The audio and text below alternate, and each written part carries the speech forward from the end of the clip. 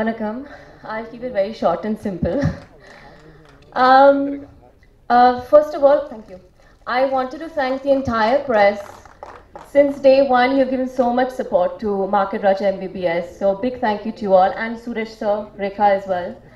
Uh, secondly, um, I also want to start off with uh, Saran sir.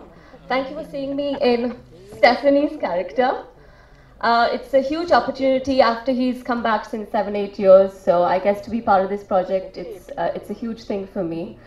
Uh, Mohan sir as well. You've produced this film extremely well. I'm thankful to the entire team, to the entire cast as well. I can't go through the entire list. I can't see half of the cast. The cast is huge in this film.